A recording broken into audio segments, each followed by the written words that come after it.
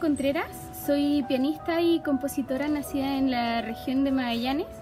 Em, en esta oportunidad voy a participar como mediadora de un muy bonito proyecto que realiza el Ministerio de las Culturas, las Artes y el Patrimonio. Em, este proyecto busca dar a conocer el trabajo de los músicos eh, chilenos. Y para mí es un privilegio en esta oportunidad presentarles a mi hermano Javier Contreras Galindo, un premiado guitarrista y compositor nacido en Punta Arenas el año 1983. Em, Javier viene de una familia que cultiva el canto y la guitarra folclórica y es este el elemento que lo impulsa a seguir creando. De hecho, a comenzar a crear y, ahora a continuar en su, proceso creativo.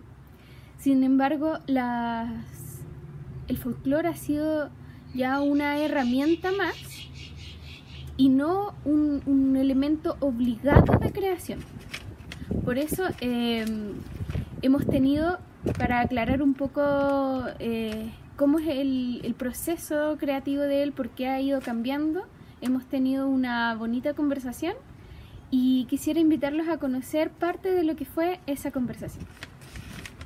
Hoy estamos con un destacado guitarrista y compositor eh, magallánico, nacido en la ciudad de Punta Arenas, eh, ha sido premiado en América Latina, en Estados Unidos, en Europa.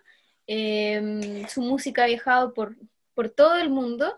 Eh, estoy hablando de Javier Contreras. Em, Javier, em, cuéntame un poco de tu inicio en cuanto mm, a tu niñez o, a tu etapa de juventud.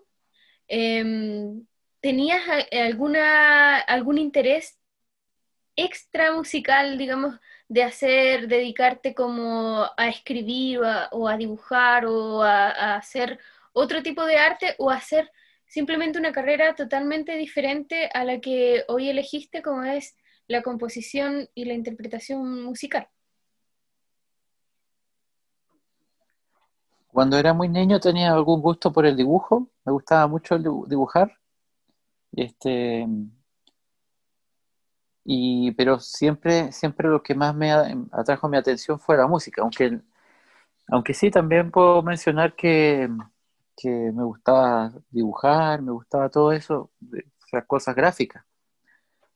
Eh, pero con, en la medida que fui creciendo y pasando de niño adolescente, y, bueno, ¿no es cierto? En ese proceso, eh, me, eh, mi habilidad se desarrolló mucho más en el, en el, en el área de la música y tuve la fortuna de dedicarme a eso posteriormente de, manera total, integral, a la música, a la composición y a la interpretación en guitarra.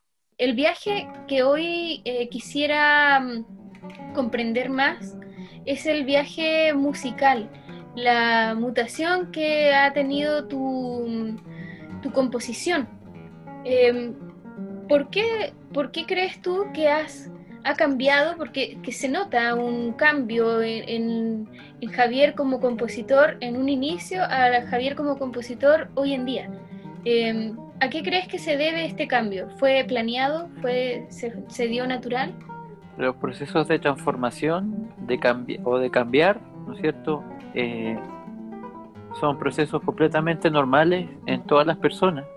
Es sano, es saludable cambiar, permanentemente porque uno va descubriendo cosas nuevas.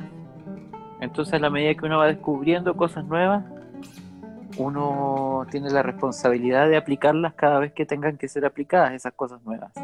Entonces, uno, la gente va percibe, cambios en, uno mismo, ¿cierto? Y uno también percibe esos cambios. ¿Qué porcentaje eh, de importancia ocupa el folclore en tu música?